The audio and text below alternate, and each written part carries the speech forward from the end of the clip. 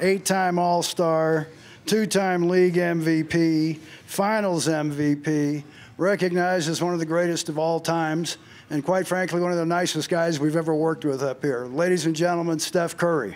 Thank you, thank you, thank you.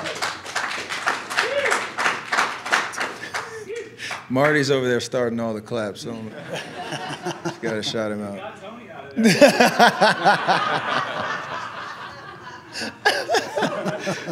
Hey, Steph, Uh, what, on. Yes, what we'll do, we'll fire a couple questions off and then let the media get up here. But, you know, you still got to be feeling pretty high after about three weeks after this uh, NBA championship. How's that feel?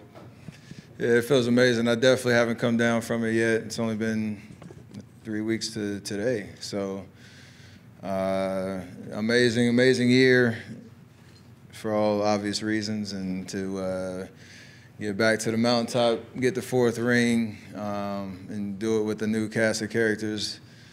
You know, with our core that has been together for over 10 years, it's, it's an amazing uh, thing to think about. I don't think it really has sunk in yet. So, um, yeah, it's nice to come out and see all the you know the Dub Nation here in in, uh, in Lake Tahoe and and play some golf. So I'm excited about it. All right, that segue to golf. Uh, what would it feel like for you to win this thing? You've got the ability. You've been close a few times. Um, what would it mean to you, especially in a, especially winning a fourth NBA championship three weeks ago? I think uh, my wife would probably tell you if I came home with that trophy, she knew what other trophies might need to move out the way.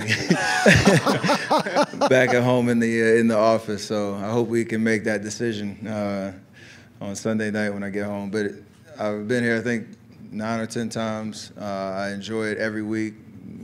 You know, make it an amazing week. You know, with the guys that I come up here with and play well a couple, three three times, got in the top five. Um, so I know I have it in there.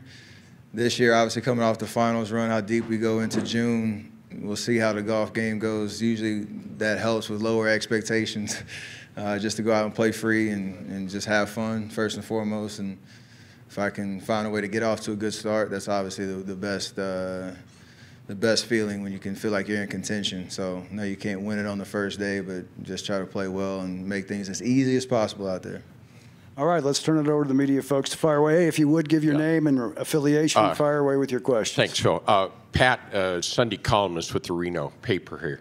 Uh, Steph, what's it like having your dad in your life, and of course here with you uh, this week, uh, as he's been throughout your entire life? And what's it been like for you to be the father that you are? You, you mean a lot to a lot of people.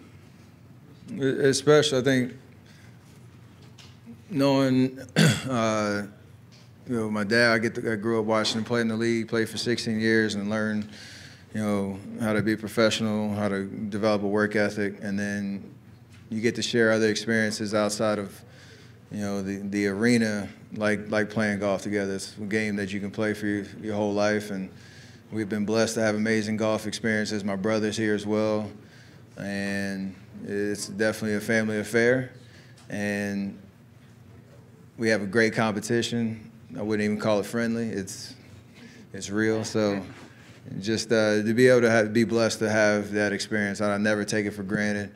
And you know, we're gonna hopefully add another great week, you know, to the list. Let's go Warriors. Let's go Warriors. Let's go Warriors.